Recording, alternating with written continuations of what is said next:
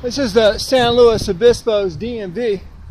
Uh, I told the ladies at the DMV that I have a um, a, uh, a space satellite.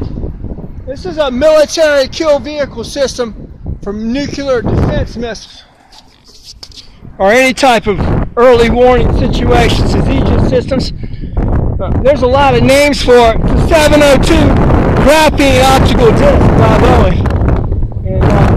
Goes with special forces. These two uh, optical communication satellites are right above my head. There's two. It's called Navy Ocean Surveillance Systems with now uh, Navy force fields and propulsion systems. Fish and Game, the Social Security Administration, Social Security has the evidence of the implant. A dual vis is an MRI microcoil for DARPA's implant for computers. You type that into YouTube, you can see it uh, explaining to draw light into the implant for cybernetics. I didn't sign for cybernetics. I only signed for a cataract removal. UC Davis doctors and risk management risk management says that doctors aren't responsible for this. I think this is a serious crime. And the Superior Court needs to arrest the government and have a hearing on this.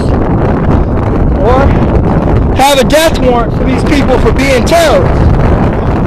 Because if anyone else did something like this, they would get the electric chair or the gas chamber for this, dude. Uh, the Air Force Space Systems is negligence with Lockheed Martin here in San Luis Obispo and the National Guard and the Coast Guard, Port Hueneme. Sheriffs are setting aside BAE systems. They're saying BAE, BAE systems is ground based. No, this is space based. You can see that this is San Luis Obispo right here, the DMV.